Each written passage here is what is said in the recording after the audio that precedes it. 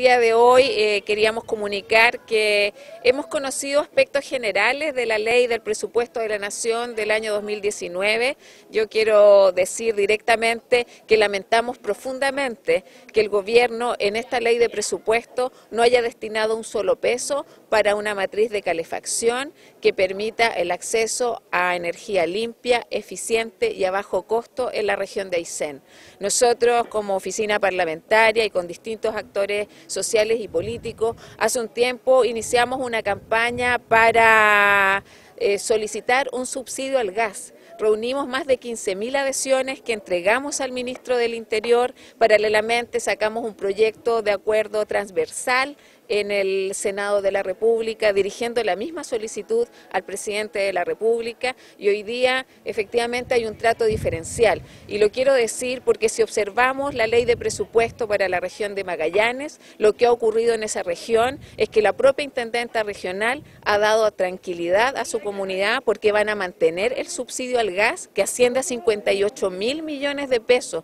cifra muy superior a lo que equivale nuestro Fondo Nacional de Desarrollo Regional regional. Mantienen un fondo especial como es el Fondema y creemos que el tratamiento que le ha dado el Ejecutivo a la región de Aysén en esta materia no responde al principio de equidad territorial. Nosotros esperamos una, alguna señal en esta materia de reconversión de la matriz eh, de calefacción, de diversificación de la matriz energética y esto no ha ocurrido. Así que señalar eso, que yo hago también un llamado a los parlamentarios que a partir de la discusión del, marco presupuestario del año 2019 eh, nos juguemos porque exista algún tipo de reasignación, porque no es solo gas quiero decirlo claramente, pero no ha existido ninguna señal que le asegure a la región de Aysén que van a existir recursos para diversificar su matriz energética y garantizar energía a bajo costo para los habitantes de la región de Aysén y por lo tanto ayudar de manera concreta en el proceso de descontaminación de la ciudad. Nosotros estamos enfrentando problemas que van más allá de la matriz de calefacción, son problemas que afectan la calidad de vida y la salud de las personas de la región.